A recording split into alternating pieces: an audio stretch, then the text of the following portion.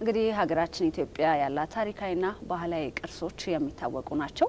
የአንድ ብሔር የኑሮ ዘይቤ ታሪክና ባህልን የሚገልጹ እንዲሁም ሌሎችም በርካታ ናቸው። እነዚህ ታሪካዊና ባህላዊ ቅርሶች ታዲያ በአንድ ቦታ ተሰብስበው ለሕዝብ እይታ ክፍቱ ነው የምንመለከትባቸው ስፍራዎች አሉና ከነዛ መካከል ስለ አንዱ ልናወራ ነው የወደድ ነው። አሁ እንግዲህ በርካቶች እንዲህ አይነት ታሪካዊ ነገሮችን ይሰንዳሉ፣ ያስቀምጣሉ።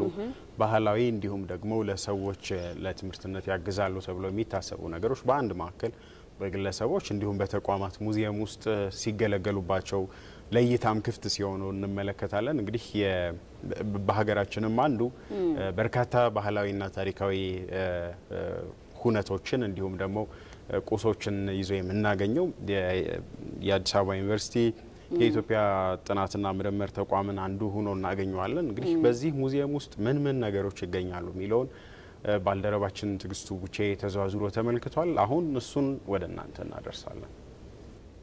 በአዲስ አበባ ዩኒቨርሲቲ የኢትዮጵያ ጥናትና ምርምር ተቋም ሙዚየም አካባቢ ነው የምንገኘው። በዚህ ሙዚየም ውስጥ የኢትዮጵያን ረጅም ታሪክ ሰንደው የያዙ መረጃዎች፣ ጽሁፎች፣ መጻሕፍቶችና እንዲሁም ደግሞ የተለያዩ ባህላዊ ቅርሶች ይገኛሉ።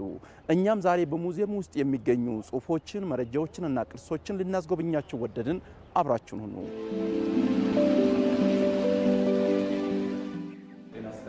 ጤና ይስጥልን። ትዕግስቱ እባላለሁ ከኢቲቪ። okay ደረሰ እባላለሁ። በዚህ በኢትዮጵያ ጥናትና ምርምር ተቋም ውስጥ የትምህርት ባለሙያ ሆኜ እያገለገልኩ ነው ያለሁት። እንግዲህ ስለመጣችሁ በጣም ደስ ብሎናል። ያለውን ነገር አለፍ አለፍ እያልን ማየት እንችላለን ማለት ነው። እንግዲህ 1934 ተሰራ ቤተ መንግስት ነው። ከዛ በኋላ የቀዳማዊ ኃይለሥላሴ ንግስና 1930 ምን ይመስላል የሚለውን ይነግረናል። እንዲሁ በተመሳሳይ ጣሊያኖች ለሁለተኛ ጊዜ ኢትዮጵያን የወረሩበትን ጊዜ ይነግረናል። ከ1936 እስከ 41 ድረስ ጣሊያኖች እዚህ እንደነበሩ ከዛ በኋላ ደግሞ በግራዚያኒ አማካኝነት የተደረገውን ጭፍጨፋ በታሪክ እዚህ ጋር እናያለን። ከዛ በኋላ እንግዲህ አፄ ኃይለሥላሴ የቀጠሉትን ስራቸውን በሰፊው ያሳየናል። እንግዲህ እዚህ ጋር ሪኮንስትራክሽኑ ምን ይመስል ነበር የሚለውን ይነግረናል። ሌላ አለፍ አለፍ ብለን ስናይ 1963 ዓ ም የተመሰረተውን የአፍሪካ አንድነት ድርጅት ዛሬ የአፍሪካ ህብረት የሚባለው ምን ይመስላል የሚለውና እንዲሁ በቀላሉ መገንዘብ ማየት እንችላለን። ከሱ ስንመጣ እዚህ ቤት ውስጥ እንግዲህ እንዲሁ በ1960 አካባቢ ተከናውኖ የነበረው የመፈንቅለ መንግስት ሙከራ በሁለት በመንግስቱ ነዋይና በግርማ አማካኝነት ምን ይመስላል የሚለውንም ታሪክ እንደዚሁ ያሳየናል። ከሱ በኋላ እንግዲህ ቀዳማዊ ኃይለሥላሴ ቤተ መንግስታቸውን ለዩኒቨርሲቲ እንደሰጡት 1961 ሲል የቀዳማዊ ኃይለሥላሴ ዩኒቨርሲቲ መመስረትን እንዲሁ በቀላሉ ማየት እንችላለን። እዚህ መጥተው የነበሩ በርከት ያሉ ታዋቂ የሚባሉ ሰዎችን እነ ንግስት ኤልሳቤትን፣ የኬኔዲ እናትን፣ የፕሬዚደንት ኬኔዲ እነ ኬኔት ካውንዳ እንደዚህ የመሳሰሉትን በተወሰነ መልኩ ለማየት ሞክረናል። እዚህ የመጀመሪያው ከኃይለ ሥላሴ ዩኒቨርሲቲ የተከናወነውን graduation ወይም ምርቃት ምን ይመስላል የሚለውን ያሳየናል። እንግዲህ ይሄኛው ክፍል ደግሞ የጸሐፍት ኮርነር ነው የሚባለው። እንግዲህ በኢትዮጵያ ውስጥ እንደሚታወቀው በርከት ያሉ ጸሐፍት አሉ፣ ግን የተወሰኑትን ለማሳየት ያህልና ትውልዱ እንዲማርባቸው ለማድረግ ነው። እዚህ ጋር ያስቀመጥናቸው እንደዚህ ታዋቂው ሎሬት ጸጋዬ ገብረ መድኅን ናቸው። ለእሳቸው ተሰጥቶ የነበረ ስጦታ ነው። ካለፉ በኋላ ወደ ሙዚየም መጥቶ እኛ ደግሞ ለሕዝብ እይታ ያቀረብነው ነው። እዚህ ጋር የምናያቸው ደግሞ አቤ ጉበኛ ይባላሉ። እንግዲህ አቤ ጉበኛ አልወለድም በሚል መጽሐፋቸው በጣም የሚታወቁ ናቸው። ከሱ አልፈን ያስቀመጥነው ደግሞ አየለ ማሞ ይባላሉ። ይሄ ማንዶሊን የሚባለውን የሙዚቃ መሳሪያ በመጫወት የሚታወቁ ናቸው። ከዛ በኋላ ያስቀመጥናቸው እዚህ ጋር ለማሳየት የሞከርነው እኚህ ጳውሎስ ኞኞ ናቸው። ጳውሎስ ኞኞ በኢትዮጵያ ታሪክ ውስጥ የሚታወቁ በጣም ልምድ ያላቸው ጋዜጠኛ እንደነበሩ ይታወቃል። እዚህ ጋር የምናያቸው የክቡር ዶክተር አዲስ አለማየሁ ከጻፏቸው መጽሐፎች መካከል አንዱና ዋና አሜን ትልቁ እዚህ ጋር የምታዩት ፍቅር እስከ መቃብር ነው። እንደዚሁ ከሳቸው ቀጥሎ እዚህ ጋር ማሞ ውድነን እዚህ ጋር ስብሐት ገብረ እግዚአብሔርን እንደዚህ በማስቀመጥ የጻፏቸውን ጽሁፎች ተማሪዎች፣ ሌሎች የህብረተሰብ ክፍሎች እዚህ የመጡ ከነሱ ጽሁፍ እንዲማሩ የእነሱን አስተዋጽኦም ለማሳየት በሚል ያስቀመጥነው። አሜን ያዘጋጀነው አንድ አዳራሽ ነው። ወደ ትልቁ ወደ ethnographic section ወደሚባለው የሙዚየም ክፍል ነው። እዚህ ጋር የምናያቸው እንደዚህ የኢትዮጵያ አርበኞች ናቸው። ከዚያ ጋር ተያይዞ እዚሁ ደግሞ ያስቀመጥናቸው የተለያዩ ቅርሶች አሉ። እነዚህ ጋሻ በዛን ወቅት ለውሃ መጠጫ ለተለያዩ ነገሮች ይጠቀሙባቸው የነበሩ ቅርሶች ናቸው።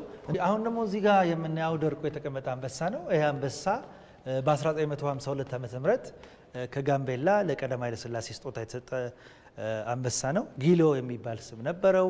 ከሞተ በኋላ በዚህ በምናየው አይነት ሳይንሳዊ መንገድ ስታፍ ተደርጎ ሊበሰብሱ የሚችሉ ሊበላሹ የሚችሉ ነገሮች ወጥተው እውነተኛ በሆነው በራሱ ቆዳ ተቀምጦ ለሕዝብ እይታ የቀረበ አንበሳ ነው።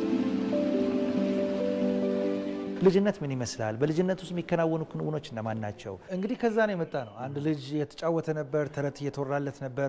አሁን ደግሞ ትምህርት ቤት መጥቷል ማለት እውቀት እንዴት ነው የሚሸጋገረው የሚለውን ነገር ያሳየናል። እንግዲህ ልጅነት አለቀ፣ ጎልማሳነት ሊጀመር ነው። ትምህርት ቤት ገብተዋል፣ ተምረዋል፣ አድገዋል፣ ወደ ጉልምስና እየመጡ ነው። እንግዲህ ይሄ ጉልምስናን በተለያየ ብሔር የተለያየ አይነት ውክልና አለው። እንግዲህ ሞትና ከሞት በኋላ አሜን ወዲያ የሚለውን ደግሞ ለማሳየት ሶስት የመቃብር ላይ ምልክቶች አስቀምጠናል። የመጀመሪያው የመቃብር ላይ ምልክት የመጣው ከኮንሶ ነው። ኮንሶ አካባቢ ቢካሄድ ይሄ የመቃብር ላይ ምልክት በአብዛኛው የሚጠቀሙበት ነው። ሰዎች ከሞቱ በኋላ ስለ ሰዎች ባህል፣ ወግ፣ ምን ሰሩ፣ ምን አደረጉ፣ ምን ነበር ስራቸው የሚለውን ነገር ታሪካቸውን ይነግረናል ማለት ነው። ሌላው ደግሞ ኮንሶ ቀጥሎ ደግሞ የምናገኘው የሲዳማ የመቃብር ላይ ምልክት ነው። ይሄ በሲዳማ አካባቢ የሚዘወተር የመቃብር ላይ ምልክት ነው። ሰዎችን ከቀበሩ በኋላ በድንጋይ የተሰራ ትንሽ ሐውልት አስቀምጠው እዛ ላይ ስለሟቹ የሚገልጹበት ነው። ሶስተኛ ላይ ደግሞ ለመወከል የሞከር ነው አርሲ ኦሮሞ አካባቢ ቢካሄድ ይሄኛውን የመቃብር ላይ ምልክት እናገኛለን።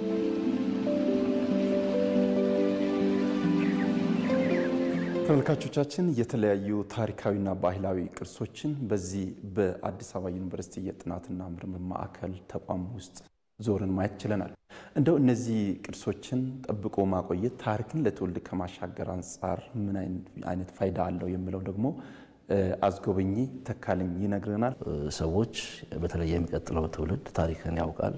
ያለፉት አባቶቻችን እንደዚሁ ያለፉት ኢትዮጵያውያን በምን አይነት መልኩ በምን አይነት ነገር ውስጥ አለፉ የሚለውን ነገር አንደርስታንድ እንዲያደርጉ ያደርጋል። ከዛ ውጭ የነበራቸውን ጽናት፣ የነበራቸውን ዊዝደም፣ የነበራቸው ክህሎት ምንድን ነው የሚለውን በተንቀሳቃሽ ቅርሶች ውስጥ እንዲሁ በማይንቀሳቀሱት ከኢትዮጵያውያን ውጭ ከውጭ የሚመጡ ጎብኚዎች ስለ ኢትዮጵያ ያለውን ነገር እንዲያውቁ ከፍተኛ እድል ይሰጣቸዋል። ተመልካቾቻችን በአዲስ አበባ ዩኒቨርሲቲ የኢትዮጵያ ጥናትና ምርምር ተቋም ውስጥ ተገኝተን በሙዚየሙ ውስጥ ያሉ የተለያዩ ታሪካዊና ባህላዊ ቅርሶችን ቅኝት ያደረግንበት ዝግጅታችን ይህንን ይመስል ነበር። መልካም ጊዜ ይሆንላችሁ። በጣም ጥሩ ቅኝት ነበረ። ተከታትለን የተመለስ ነው። በአዲስ አበባ ዩኒቨርሲቲ ውስጥ የኢትዮጵያ ጥናትና ምርምር ተቋም ውስጥ የሚገኝ ሙዚየም ነው። ባልደረባችን ትግስቱ ጉቼ ጥሩ አድርጎ አስቃኝቶናል። እዚህ ጉዳይ ላይ እንግዲህ ተጨማሪ መረጃዎችን ለማግኘት እንግዳ ጋብዘናል። እንግዳችን ዶክተር ታከለ መርድ ይባላሉ። በአዲስ አበባ ዩኒቨርሲቲ የኢትዮጵያ ጥናትና ምርምር ተቋም ዳይሬክተር ናቸው። ጤና ስጥልን፣ እንኳን ደህና መጡ። ለጊዜዎት በቅድሚያ እናመሰግናለን። ዶክተር እናመሰግናለን። እንግዲህ ቀደም ሲል በሙዚየም ውስጥ በርከት ያሉ ነገሮችን ተመልክተናል። እንደው በርካቶች ያውቁታል ወይ? ለሕዝብ ከማስተዋወቅ አንጻር የተሰሩ ስራዎች እንዴት ያሉ ናቸው የሚለውን እስኪ ግለጹልን። ያውቁታል፣ ግን በጣም በጥሩ ሁኔታ ያውቁታል ብለን የምናስበው በተለይ የውጭ ሀገር ዜጎች ናቸው።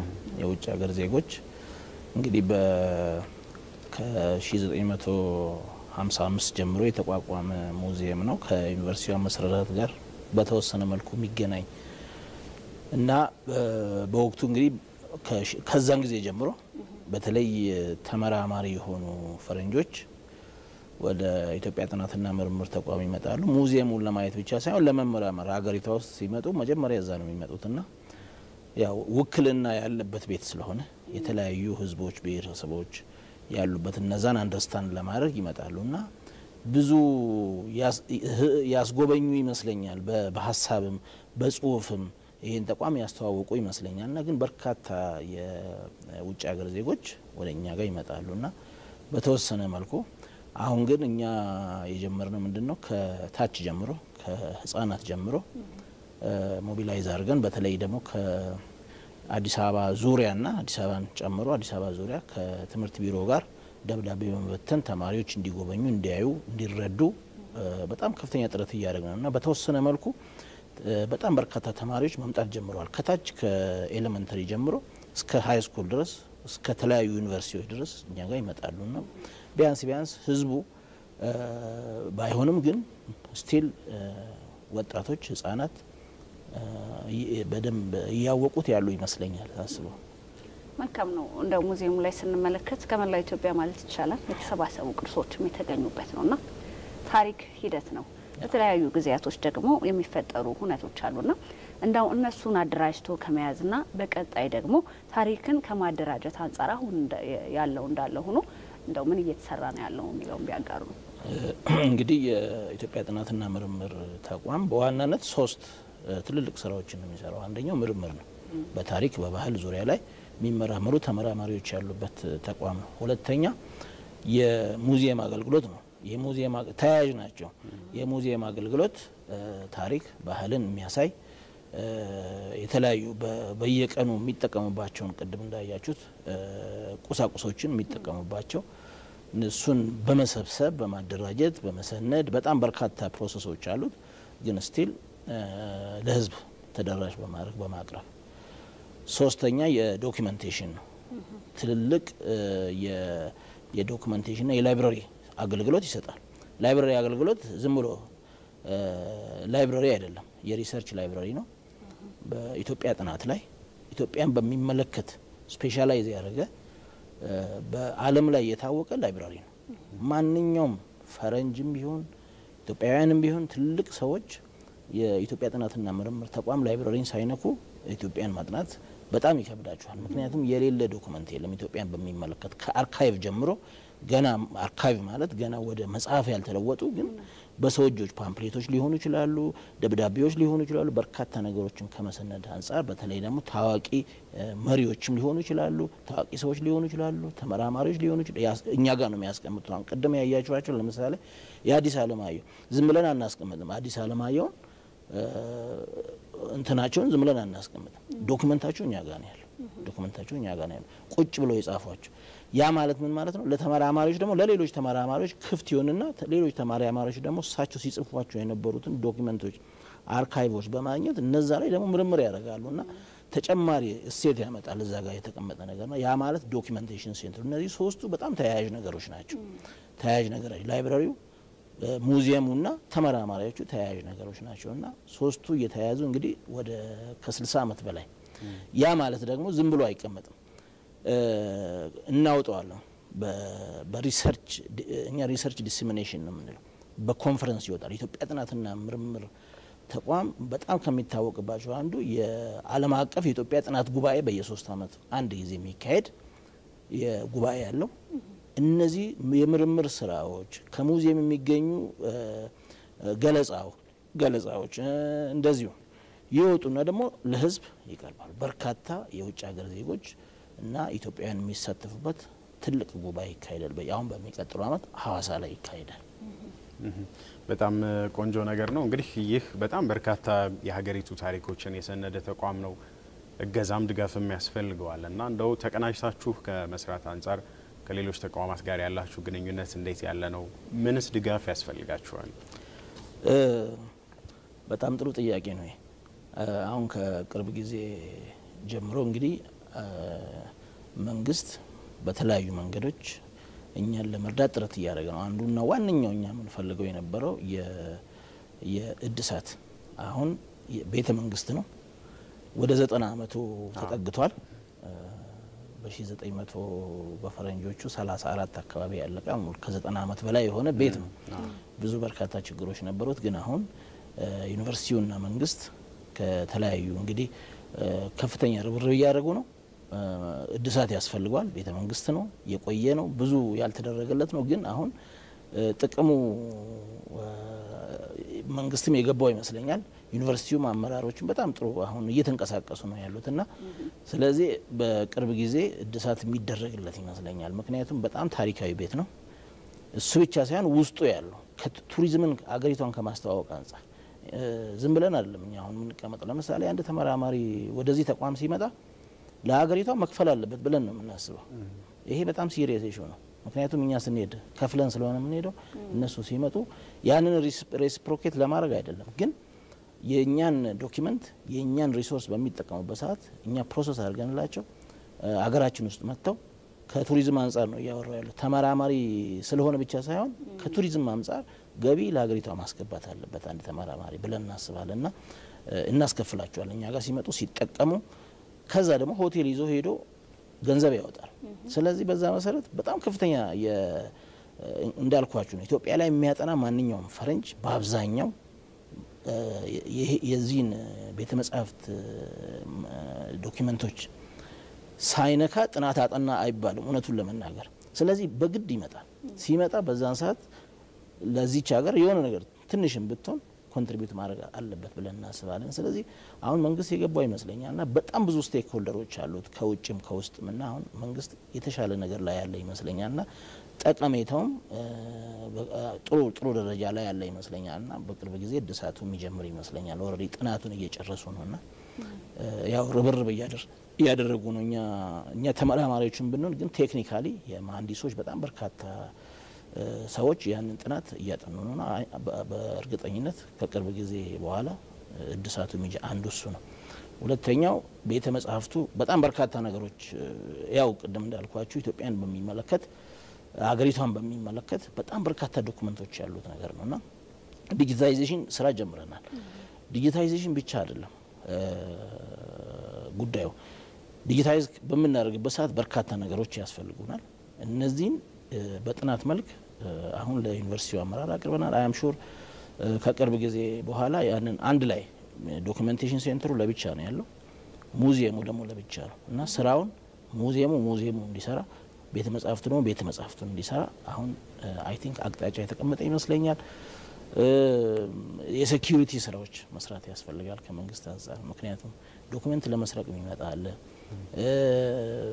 abuse ለማድረግ የሚመጣ ይኖራል። ኢትዮጵያን የማይወዱ በጣም በርካታ የውጭ ሀገር ዜጎችን ጨምሮ አሉ እና ያንን ተከታትለን ነው ጠብቀን ያለ ነው። ስለዚህ I'm sure ያንን መንግስት የሚረዳ ይመስለኛል።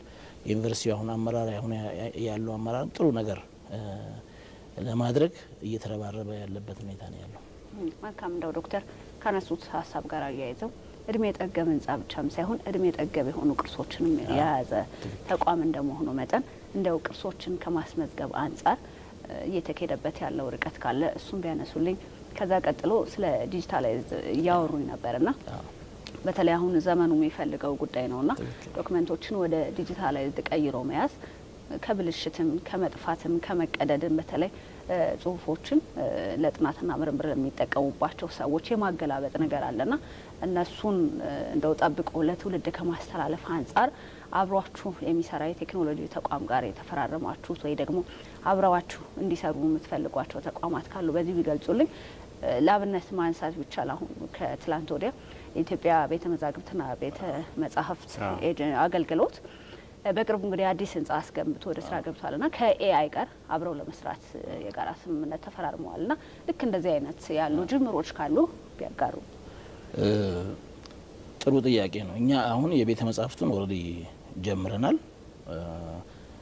በተለይ በ digitalize በማድረግ እኛ የተማረ ራሱ skilled የሆነ የ library አባላት አሉ ራሳቸው የሚሰሩበት ማለት ነው።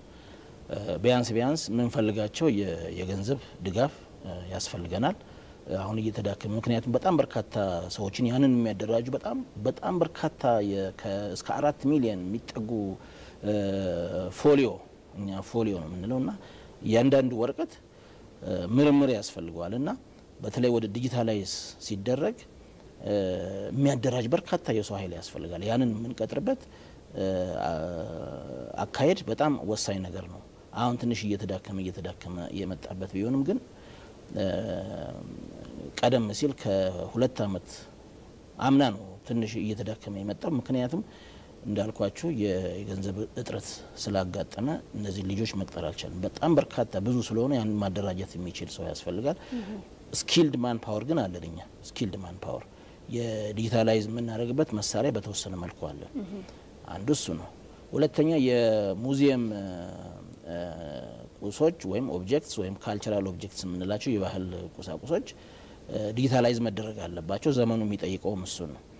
አሁን ከዚህ ከእድሳቱ ጋር ተያይዞ ያቀረብነው አንዱ ፕሮጀክት የ proposal እሱን ነው።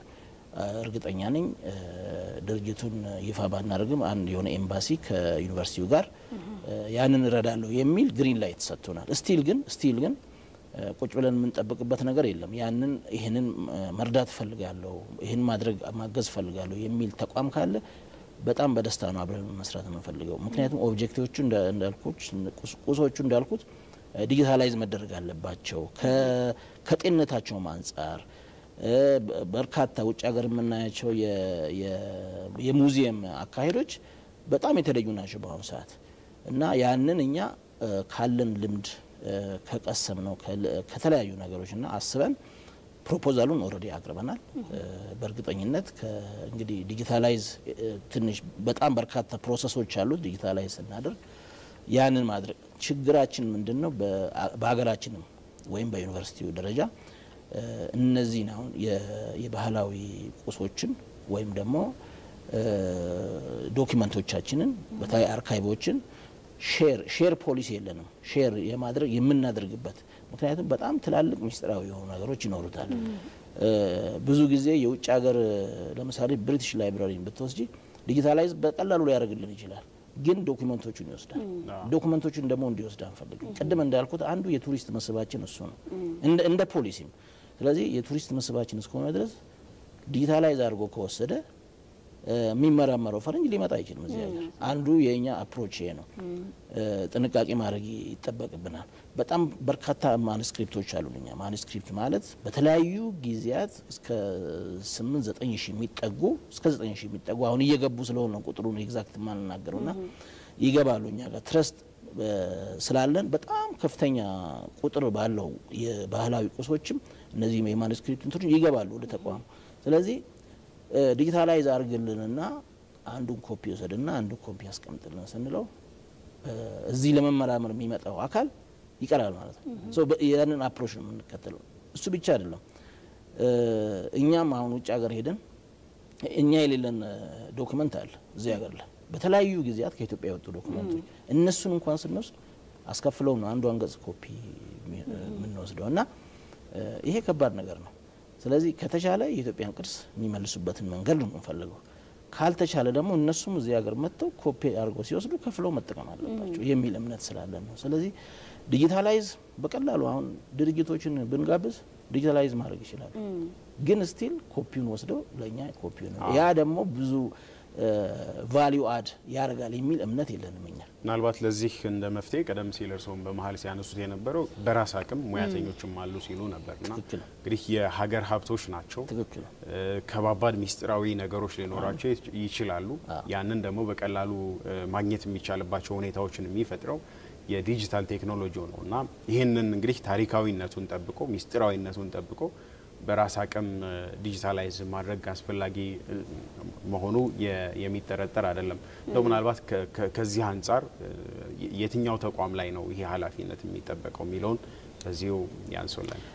አያይዘው እንደው ዶክተር እድሳት ይደረጋልን ብለዋል ና በርካታ የቁስ ቅርሶች፣ የጽሁፍ ቅርሶች ያሉበት ተቋም እንደሆነ ነግረውናል ና ከጥንቃቄ አንጻር እድሳት ሲደረግ እቃዎችን ማንቀሳቀስ ነገር ካለ መጽሐፍቶቹም እንዳይቀደዱ ቅርሶችም እንዳይጎዱ ብታደርጓቸው የቅድመ ጥንቃቄ ስራዎችም ካሉ በዛ እንግዲህ አሁን ቅድም ከዚህ ጋር ተያይዞ ያልገለጽኩት አንደኛ ቅርሶቹም በተለይ ቅርሶችን በተመለከተ እዛ ውስጥ ያሉት ቤቱ ያው አሁን የሚታደሰው በቅርብ ጊዜ ሙዚየሙ ነው። ቅርሶቹ call number አላቸው ወይም code number አላቸው ወይም accession number ነው የምንለው እኛ። አንድ እቃ የትም ይቀመጥ የትም access number አለው። በዛ access number ለምሳሌ ከ store ኡ አውጥተን ከ warehouse አውጥተን display ብናደርግ store ኡ ላይ ከሌለ የት እንዳለ ይታወቃል። already እዛ ላይ ይጻፋል፣ display ተደርጓል። ወይም ደግሞ fragile ነው ትንሽ ችግር አለበትና conserve ሊደረግ ገብቷል የሚል ይጻፍበታል። እዛ ጋር በጣም በቀላሉ ማግኘት ይቻላል። እንደተባለው አሁን በሚታደስበት ሰዓት ቅርሶቹን ከማንቀሳቀስ አንጻር በእርግጠኝነት ዩኒቨርሲቲው already የሚያዘጋጃቸው ነገሮች ይኖራሉ። ቅርስ ዝም ብሎ አይቀመጥም። ግን approach ኣቸውን አሁን አልነገሩም። በተለይ እድሳቱን የሚያካሄደው company ምንድን ነው የሚያደርገው? ሙሉ በሙሉ እቃዎቹ ይወጣሉ ወይስ አይወጡም የሚለው አሁን በጥናት ነው የሚታወቀው። ጥናቱ almost ከሁለት ሳምንት በላይ አይሄድም ከዚህ በኋላ እንደ ከዩኒቨርሲቲው እንደተረዳ ነው ሁለት ሳምንት ወይ አንድ ሳምንት እንግዲህ አሁን ባለፈው ሁለት ሳምንት አሁን አንድ ሳምንት ይቀራል ለማጠናቀቅ። ስለዚህ ያንን የሚወስኑት ከዚህ በኋላ ነው።